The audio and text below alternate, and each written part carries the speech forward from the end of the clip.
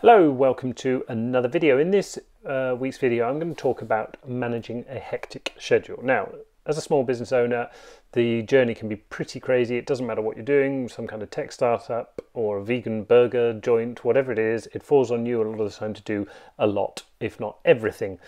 Um, your schedule can therefore get pretty crowded to say the least, and all those kind of time consuming tasks, the chores, the admin, etc., that you maybe never imagined suddenly are your responsibility. So, how do we manage a schedule that seems inclined simply to become more and more hectic? Well, here are a few tips, starting with number one have a plan and experiment with planning. As a kind of risk averse, pessimistic sort of human, uh, I like to plan, and over time, the way I do it has actually changed. I've gone through writing journals, creating a weekly schedule, um, creating a more prescriptive monthly schedule, short to do list, long to do list, whatever kind of works.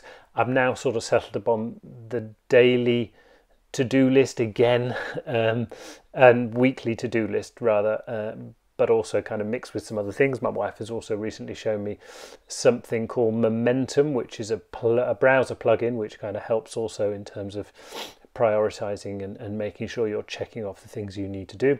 There's no right and wrong way of doing it. Um, it has to be whatever works for you. So um, make sure you sort of maybe sort of experiment with different things and you'll find a way. You'll also find it just evolves. Maybe it changes from the time of year if I'm not doing the school run, my kind of schedule actually looks a little bit different and I plan a little bit differently. But again, these are all things that you kind of uh, can work out for yourself. Um, one key thing, point two, create time blocks. Um, once you have a plan, sticking to it is much easier if you work in time blocks. It takes discipline to kind of stick to a fixed schedule and prevent kind of distractions and so on and so forth. So I think sort of time blocking is a very good way of doing it. Now, I've actually evolved a bit away from it, but the bottom line is if you kind of start to implement time blocks in almost any way, you're going to reap the benefits in terms of increased productivity and also increased focus unscheduled communication can be really kind of time sapping and energy sapping as well. So you have to be disciplined and kind of stick to your time blocks to get stuff done. My experience, again, doesn't have to be too prescriptive, although you may want to start with a kind of clear schedule for a whole week and then find a balance. For example, I've used the same kind of time blocks for quite some time in terms of email planning, creative sort of tasks, business A, sales, business B, admin, and so on. Um, but actually, now I use a much more kind of fluid system, and, and I tend to block certain times during the day based upon my to do list just to ensure I get stuff done. Um, good tip though, make sure you add in some buffer time in between blocks to reset and recharge, which leads me on to the third point, which is work in sprints. Again, this is directly related to the previous one. What I'm trying to focus on here is the necessity to kind of go full speed uh, on something and then step away, take a break. The workday should not be a marathon, but a series of kind of sprints to ensure that you focus fully and, and you recover as well to go again on to the next thing. It can be hard, as I said before, to maintain energy levels through the working day, especially when switching from one type of work to another. So, stepping away can be very important. Something which is particularly um, evident in our kind of business, especially with kind of virtual assistants, perhaps working for, with a client on one kind of job, then having to switch to something completely different, different sector, different type of work, different type of sort of energy required. So having that little sort of buffer time, I think, is really uh, Im- important as well. Um, I like to take a break from technology for a few minutes between sort of time blocks. Uh, it could be simple as running an errand, and taking a short walk, whatever it is. Does again, you know, um, whatever kind of works. Um, one of the great benefits of working in sprints is that you are essentially looking to limit work in progress, which is directly linked to the next point, number four, which is using the right tools to streamline your operations, to streamline your work. It doesn't just work for the Japanese assembly lines, uh, but it can work for you and your business.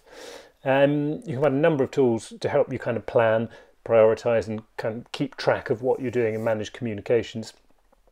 Um, some that we use, for example, Asana, Trello, uh, Slack, typically used by kind of clients of ours, and we use also internally. Um, there are other things like Jira and Basecamp, which may be, you know, a bit more sort of advanced, larger projects, larger teams, more more sort of a bit more involved. Um, but if you also have a database of clients, then making sure you're working with the CRM tool HubSpot is one example, can help you to kind of streamline processes, segment them, and manage communications, for example, with clients all in one place. Um, things like online scheduling software, Calendly, for example, that can automate uh, appointment setting um, and avoid a sort of time wasting back and forth of emails, which is often a pain and sapping. When it comes to finance and accounting, obviously, um, you know there are lots out there. We currently use QuickBooks, but it could be FreshBooks, Xero and, and a host of others. Um, and of course, whatever kind of sector you're in, or perhaps you do things kind of differently, then you know there'll be other things that you can use as well. I'll be very interested to hear them, so drop them in the comments. Um, now, on top of all this, you really want to make a huge impact, impact on your hectic schedule.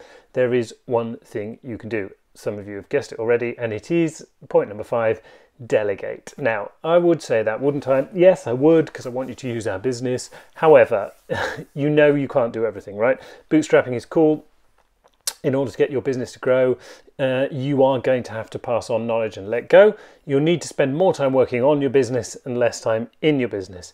I recently read an article from 2016, I think it was, in which business owners discuss what uh, they would like to be doing within their business rather than what they are doing. And I think it's safe to say that sales and business development, product development, and planning and those kind of things came out really high. And I think that's probably because that's maybe where they originate, you know, the business kind of owner, the idea um, wanting to sort of focus on the product and, and, and selling it. Um, and then, of course, in fact, so much time is taken up by the admin, um, uh, the sort of support side of things, perhaps the marketing or certainly maintaining a, a sort of coherent presence on social media is a big thing um, and does take up a lot of time. Um, along with much of the day to day, though, these things can actually be delegated. Now, I know it can be daunting for business owners. So the best thing is to do start slowly, delegate a little bit, work your way into it, and you will find uh, that it isn't actually as scary as it sounds. And more importantly, of course, delegation is the one thing that allows your business to grow and then to scale and to sort of keep going on that growth trajectory that you are seeking. Right, that's it that's the end of these tips. Uh, there'll be a few more links to other articles, links to some of the tools I mentioned as well in the blog post related to this video. If you have any comments, then I would love to hear them. So please feel free to let me know what you think and what you do to manage a hectic schedule.